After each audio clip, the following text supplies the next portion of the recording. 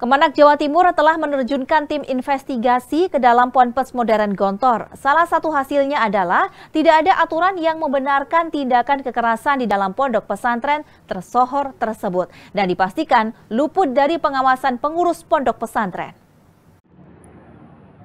Kantor Kementerian Agama Jawa Timur melalui Kemenak Kabupaten Ponorogo telah menerjunkan tim investigasi untuk mencari fakta kejadian penganiayaan berujung maut.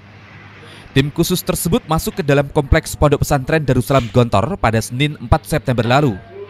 Dalam investigasi tersebut ditemukan bahwa pondok pesantren tidak mempunyai hukuman kekerasan terhadap santrinya.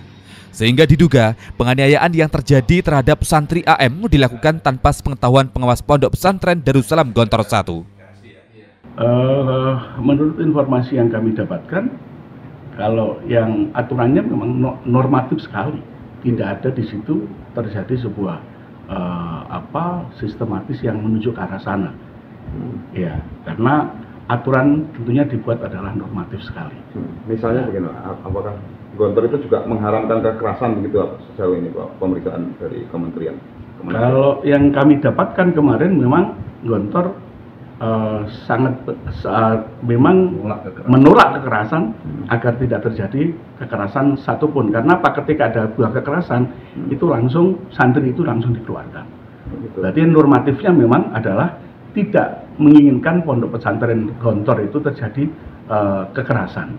Jadi, selain itu, pondok memiliki peraturan tegas terhadap santrinya, di mana saat santri diketahui melakukan pelanggaran terlebih kekerasan terhadap santri lain tanpa pandang bulu, santri yang bersangkutan langsung akan dikeluarkan dari pondok. Ega Patria, CTV, Ponorogo.